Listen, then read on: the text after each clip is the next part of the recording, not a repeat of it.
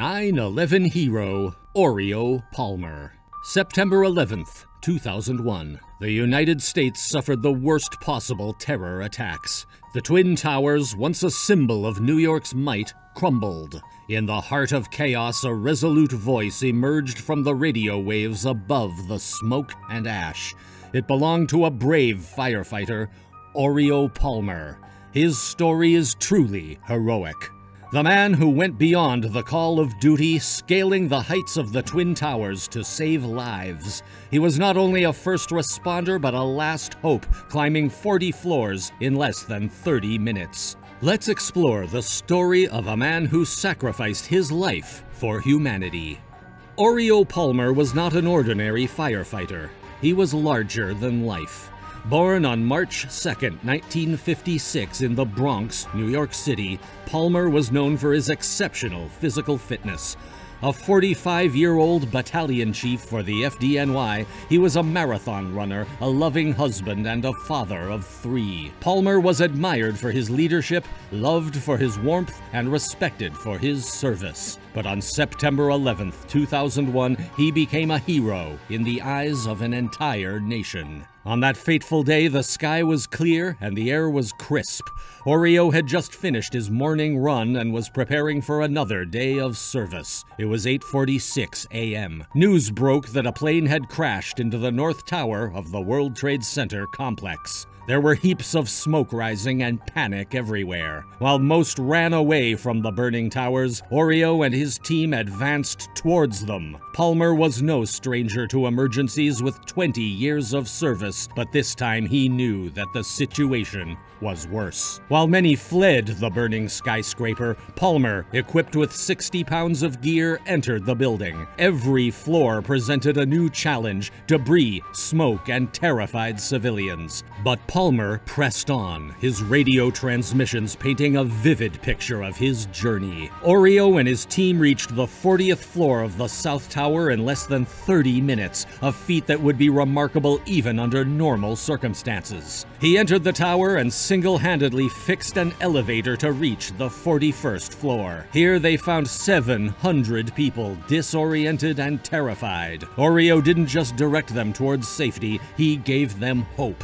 His strong and reassuring voice became a lifeline in a sea of despair. He was among the first to reach the impact zone in the South Tower, leading a team of firefighters to the 78th floor, right where the plane had struck. We've got two isolated pockets of fire, he reported. His voice was filled with relentless courage and high spirit to save as many lives as possible. Palmer reported numerous 1045s, code 1s, a fire department code for casualties. These recordings played a crucial role in understanding the events of that day and the challenges faced by first responders. There were low chances of life for those trapped above the impact zone. Palmer was standing firm there, being their only hope. This brave man didn't just fight fires, he offered comfort, guiding survivors and coordinating rescues. He was there amidst the smoke and fear, offering a helping hand and a way out. Palmer's actions exemplified not just a firefighter,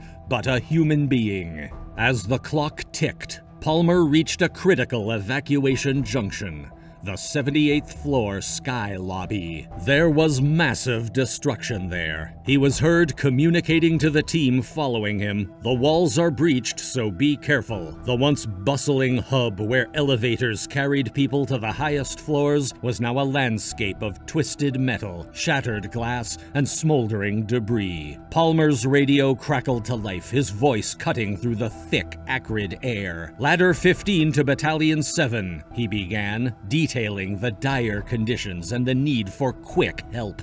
Fires raged, fed by jet fuel, and the air was thick with smoke, making every breath a struggle. Even in the face of such horror, Palmer was standing firm. He and his fellow firefighters worked tirelessly, extinguishing fires and aiding the injured. His radio transmissions painted a vivid picture of the challenges they faced. He called for additional hoses, manpower, and medical assistance, always thinking of others before himself. But time was running out. The structural integrity of the tower was compromised, and the ominous groans of shifting steel echoed through the corridors. Palmer coordinated efforts, ensuring the maximum number of people could be evacuated. Then at 9:59 a.m., a roar filled the air. The South Tower, weakened by the intense fires and structural damage, began its tragic descent. Besides, there was never a hint that the clock was running out on them. They had no warning that the tower was about to collapse on top of them. In mere seconds, the tower crumbled, taking countless souls down with it, including Palmer. Almost 1,000 civilians and first responders died in this collapse. His remains were never identified. This hero stood stood his ground, fought, and saved, despite all odds. Do you know? The Battalion Chief Orio J. Palmer Award is an annual award given to firefighters with exceptional fitness skills, honoring Palmer's commitment to physical excellence. Isn't that a landmark? Orio Palmer lived an exemplary life, Share his story, honor his memory, and ensure that the sacrifices made by him and many others are never forgotten. Hit the bell button to get notified about more stories. How was this brave firefighter honored? Keep watching as we're going to reveal it. Orio Palmer perished that day, but his legacy lives on. His actions saved countless lives, and his courage became a beacon of hope in one of America's darkest hours. The brave man climbed climbed higher than any other firefighter that day, reaching floors that were considered unreachable. His radio transmissions provided invaluable insights into the conditions inside the tower, aiding subsequent investigations. With over two decades of service with the FDNY, Palmer had faced countless emergencies, each time putting the safety of others above his own. His service is a tale of heroism and a lesson in leadership and service, inspiring inspiring countless firefighters and first responders worldwide. The FDNY posthumously promoted him to Deputy Chief,